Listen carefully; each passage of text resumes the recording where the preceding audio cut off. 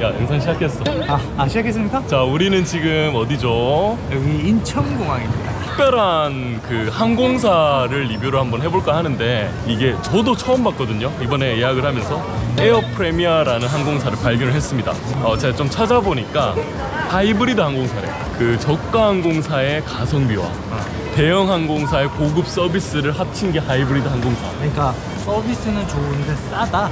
맞아 근데 그럴 수가 없잖아 그래서 우리가 실제로 진짜 하이브리드 항공사의 그런 모습을 보여주는지 한번 신랄하게 까릴 것 없이 까릴, 네. 꺼릴 것 없이 한번 꺼릴 것 없이. 한번 비판을 해보겠습니다 비행기에서 또 보실게요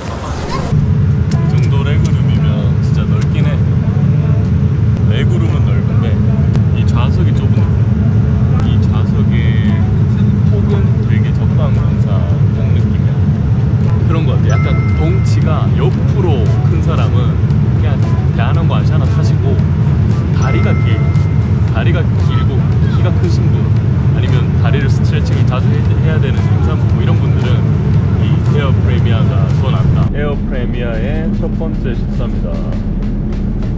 자 일단 제육 메인부터 한번 먹어보겠습니다.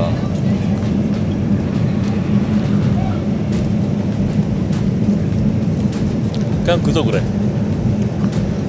맛있지도 않고 막 그렇다고 못 먹을 정도는 아니야. 그냥 그래 저희가 LA 공항에 도착을 이렇게 했습니다.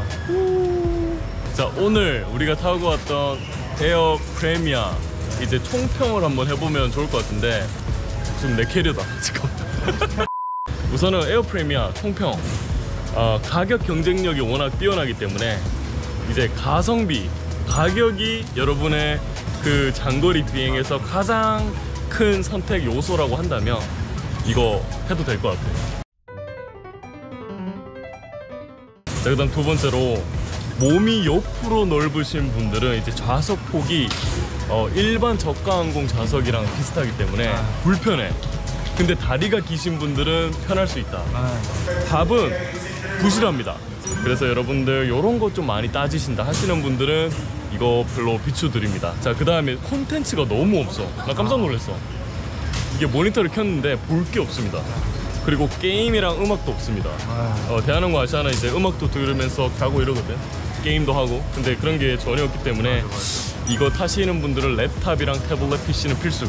자 이제 뭐 마지막으로 정리하자면 저렴하면서 legroom 넓은 그 두 가지 요소만 따진다고 한다면 이 에어 프레미아는 여러분들한테 이점으로 보일 수는 있을 것 같다. 오늘 그러면 재밌는 하루 보내시고 저희는 이제 뉴욕 아 LA에서 또 일정을 한번 소화해 보도록 하겠습니다.